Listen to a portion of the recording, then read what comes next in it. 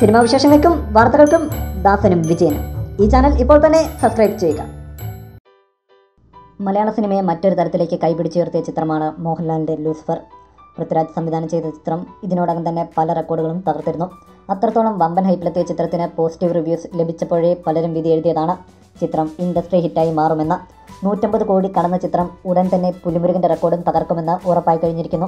ചിത്രം മലയാളത്തിലെ ആദ്യത്തെ ഇരുന്നൂറ് കോടിയും സ്വന്തമാക്കുമെന്നാണ് പലരും കരുതുന്നത്. അങ്ങനെയെങ്കിൽ മലയാള സിനിമയ്ക്ക് പല നേട്ടങ്ങളും സമ്മാനിച്ച മോഹൻലാലിന്റെ പേരിൽ ആ നാഴികക്കല്ലും അറിയപ്പെടും.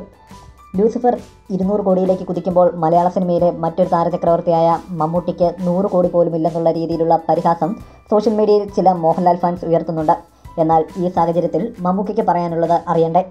ലൂസിഫർ റെക്കോർഡുകൾ തീർക്കുന്നതിന് മുമ്പേ മധുരരാജ റിലീസിംഗ് സമയത്തെ മമ്മൂക്ക ഇതിനെക്കുറിച്ചൊക്കെ അന്നേ സംസാരിച്ചിരുന്നു. അന്ന് കോടി ക്ലബ്ബുകളെക്കുറിച്ച് ചോദിച്ചപ്പോൾ മമ്മൂട്ടി പറഞ്ഞത് ഇങ്ങനെയായിരുന്നു.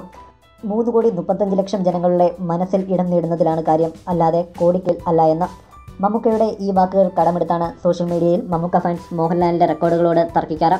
ഒരു തരത്തിൽ മമ്മൂക്ക പറയുന്നത് ശരിയാണ്. എല്ലാ ഇൻഡസ്ട്രിയിലും കാണും ഇതുപോലെ രണ്ട് താരങ്ങൾ. തമിഴിൽ രജനീകാന്ത് പക്ക കൊമേഴ്ഷ്യൽ സിനിമകളുമായി കണം നിറയുമ്പോൾ പരീക്ഷണ സിനിമകളാണ് കമൽഹാസൻ കമ്മിറ്റ് ചെയ്യുന്നതിലധികവും. ഹിന്ദിയിൽ സൽമാനെയും ഷാരുഖ് കാര്യവും വ്യത്യസ്തമല്ല. മലയാളത്തിലും ഇപ്പോൾ കാര്യങ്ങൾ അങ്ങനെയാണ്. ബോക്സ് ഓഫീസ് കിങ്ങായി ലാലേട്ടനെത്തുമ്പോൾ പേരമ്പ് യാത്ര തുടങ്ങിയ ചിത്രങ്ങളിലൂടെയാണ് മമ്മൂക്ക മനം കവരുന്നത് കൂടുതൽ സിനിമാ വിശേഷങ്ങൾക്കും വാർത്തകൾക്കും ദാസനം വിജയനും. ഈ ചാനൽ ഇപ്പോൾ തന്നെ സബ്സ്ക്രൈബ് ചെയ്യുക. വീഡിയോ ഇഷ്ടപ്പെട്ടെങ്കിൽ ലൈക്ക് ഷെയർ കമന്റ് താങ്ക്